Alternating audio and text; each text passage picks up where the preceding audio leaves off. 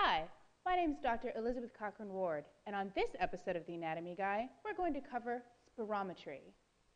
Let's talk a little bit about spirometry. It's a very simple office test, but proper technique is important to get accurate data. It can help us categorize airflow limitation, obstructive or restrictive, and it can also help us determine the severity of airflow obstruction. To really get the full idea of spirometry, let's watch a video on how it's done. We're going to go to Dr. Bruce Britton right here in the studio. I'm uh, here to introduce the uh, spirometer. Today we're going to be using a Welch Allyn. It's an older model, but it records uh, on paper someone's pulmonary function.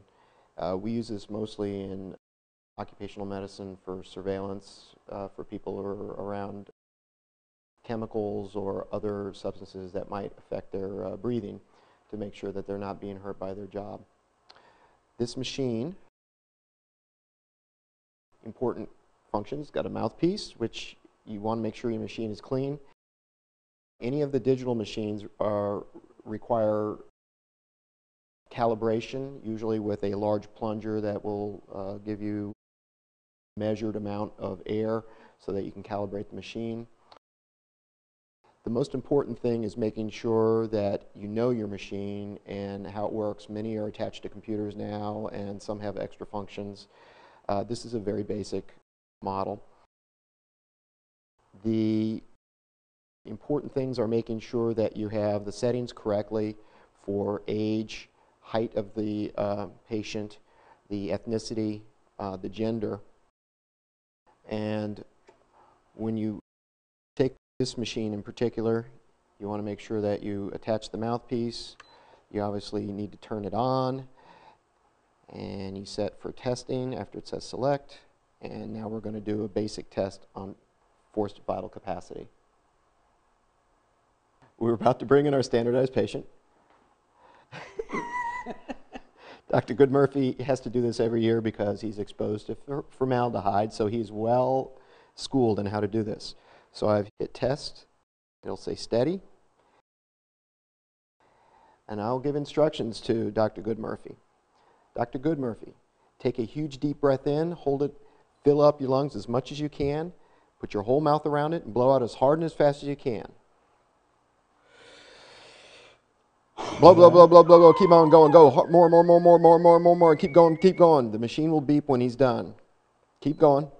That's it you notice this is effort dependent, the machine automatically will tell if there's poor effort or if there's a cough. This one, he did a good job. Congratulations. Uh, now, unfortunately, very competitive. since this is an effort dependent test, to get a good result, you need to get the best of three. So you got to do it again. So we hit select again, FVC, steady. Do it again. Blah, blah, blah, blah, blah. Keep going, keep going, keep going. Things that can mess up the test is breathing in before, coughing during the middle of the test, pausing. This machine will pick those up. Let me ask you to do a bad one because that was a good one.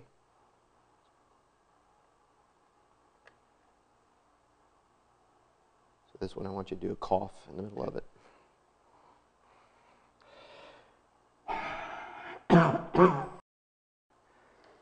The machine won't beep in, until there's no air flowing through the system. Let's hope it does. Bad start. Good enough. So now we'll do some, some data collection. We've put the um, spirometer in the machine and we are about to print out uh, Dr. Goodmurphy's results.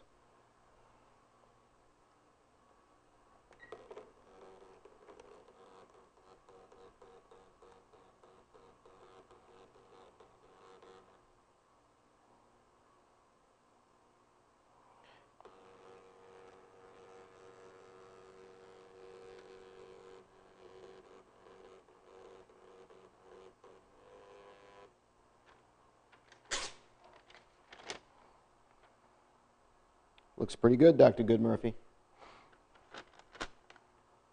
Now, before we discuss the results of spirometry, let's go over a couple of simple definitions. The FEV1 is our forced expiratory volume in the first one second of blowing. The FVC is forced vital capacity, or the maximum volume of air forcibly exhaled after a full inspiration. FEV1 and FVC need to be compared with predicted normal values, and those are given to us by the machine. They account for age, height, weight, gender, and ethnicity. Spirometry can also help us determine whether the airflow limitation is an obstructive or restrictive pattern. Before we discuss that, what do we mean by obstructive and restrictive? Obstructive disorders cause airway tightening. Restrictive affect the way the lungs expand. Obstructive disorders include COPD or chronic obstructive pulmonary disease, asthma, and bronchiectasis. Restrictive disorders include neuromuscular disease, interstitial lung disease, pleural effusion, kyphoscoliosis, obesity, and previous pneumonectomy. Let's look at a normal curve, like the one Dr. Goodmurphy gave us. If we look here at time, here's one second. So up here is our FEV1, or the amount of air blown out in the first one second. Going all the way down the curve, here is our FVC. Now let's look at a curve that's a little bit more abnormal. This is one of chronic obstructive pulmonary disease. As you can see, the FEV1 is a lot lower than on a normal curve, but our FVC is about normal. This will give us a low FEV1 and the ratio between FEV1 and FVC is also going to be lowered. Let's look at a few different kinds of spirometry curves side by side so we can compare them. Over here is our normal curve. And as you can see, our FEV1 is up here and our FVC is down here. Now here is poor effort, and as you can see, we can't tell whether or not their lungs are normal. They could look like this or this, but they really need to have a proper effort to get an accurate reading. Over here we have asthma, which is an obstructive pattern. We have a low FEV1, but a normal FVC, giving us a diminished ratio as well. COPD, also an obstructive disease, again, has a low FEV1, but an approximately normal FVC. Here's a graph on how to read spirometry to determine whether or not we have an obstructive, restrictive, or mixed pattern. Over here at obstructive, our FEV1 is going to be reduced, but our FVC will be normal, and this will also give us a reduced FEV1-FVC ratio. In a restrictive pattern, both the FVC and the FVC are reduced, so our ratio is going to be normal or perhaps a little increased. And when we have a mixed pattern, the FEV1 and FVC are also reduced, but that ratio is decreased.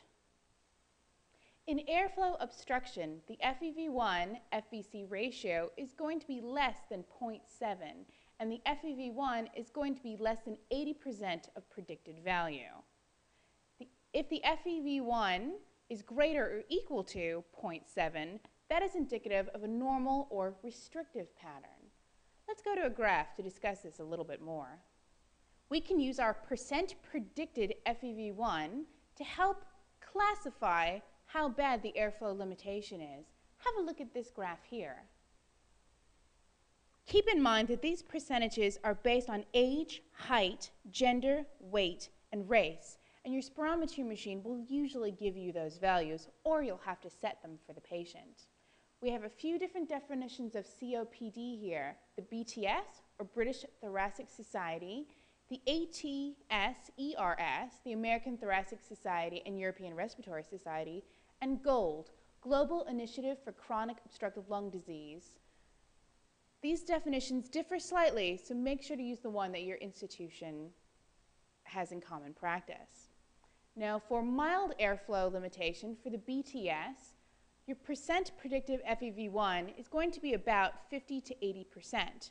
For moderate disease, it drops down to 30 to 49 percent, and for severe disease, it's less than 30 percent. Here are some pearls and problems about spirometry. It's a simple test that can be done right in your office. You need to encourage patients to use proper technique and effort to get accurate readings. It can help us classify obstructive versus restrictive versus mixed disease, and it can also help us determine the severity of their COPD. That's all for us on spirometry. Thanks for watching. I'm Dr. Elizabeth Cochran Ward, and we'll see you next time on The Anatomy Guy. Looks pretty good, Dr. Goodmurphy.